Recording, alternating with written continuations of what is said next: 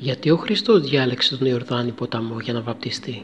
Στον Ιορδάνη ποταμό είχαν γίνει από την εποχή της Παλαιάς Διαθήκης πολλά θαύματα και ήταν πλήρης χαρίτων αγιασμένος.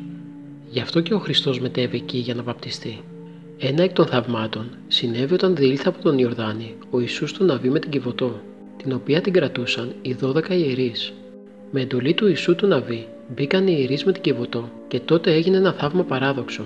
Ο Ιορδάνης στράφηκε προς τα πίσω και απέμεινε τόσο νερό, όσο ήταν αρκετό για να βραχούν οι ιερείς μόνο μέχρι τον Αστράγαλο.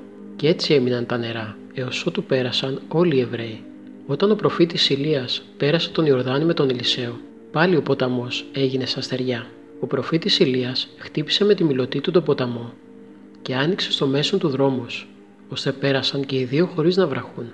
Τότε ο Ηλίας ανελήφθη στους ουρανούς, ανέβηκε με άμαξα πύρινη και με τέσσερα άλογα πύρινα, ως εις των ουρανών, και άφησε τη μιλωτή του στον Ελισαίο. Προσπάθησε λοιπόν με τη σειρά του, κατόπιν ο Ελισέος να χτυπήσει τα νερά για να περάσει πάλι πίσω, και δεν έγινε τίποτα. Τότε επικαλέστηκε τον Θεό του Ηλία, και αμέσως επαναλήφθηκε το θαυμαστό αυτό γεγονός. Ένα ακόμα θαύμα συνέβη όταν ένας στρατηγός του βασιλιά της Συρίας, ο Νεεμάν, είχε λέπρα και πήγε στον προφήτη Ελισέο να το θεραπεύσει.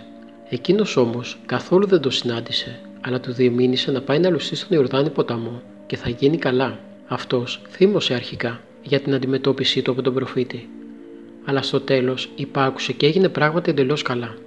Κάποτε πήγαν ξυλοκόποι στην όχθη του Ιορδάνη για να κόψουν ξύλα.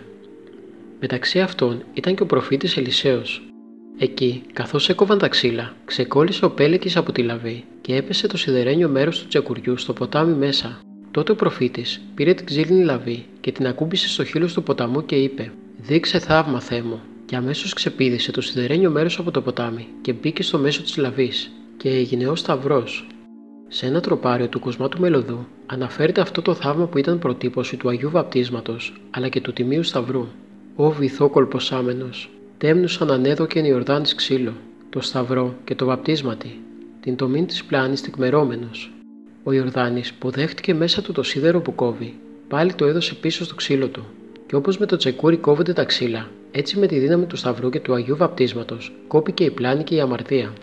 Αλλά πολλά ακόμα θαύματα έγιναν, όπως ο Γεδεόν ο Κριτή που πέρασε τον Ιορδάνη χωρίς να βραχεί, ή και ο Ιακώβ, ο ιό του Ισαάκ, ο αδελφός του Ισάβ, που και αυτός τον πέρασε με μία ράβδο, όπως λέει ο ίδιος, εν γάρτη ράβδο μου ταύτη, διέβην τον Ιορδάνην.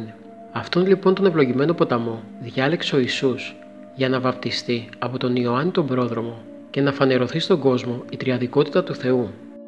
Απολυτή και ο νεορτής.